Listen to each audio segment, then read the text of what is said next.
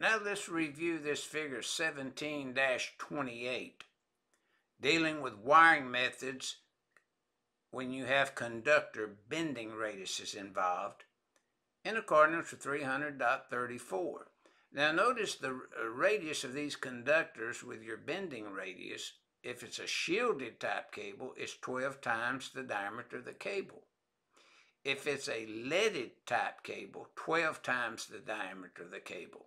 Non-shielded cables, and it's just 8 times the diameter of the cable.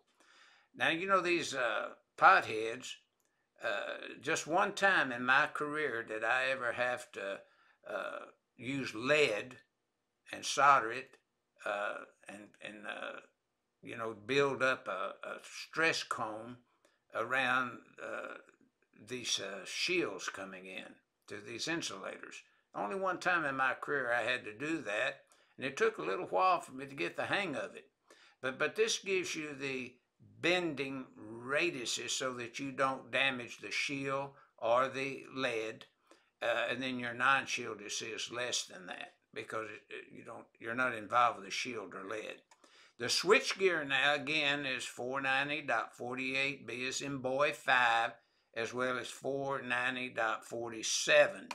Now the note says for conductors entering switch gear, see 490.34 and for supply terminals and uh, terminations, see 490.44A. Now notice the radius we're talking about here with the cable. It's 8 times non-shielded type cable, so as you see in the radius of conductors.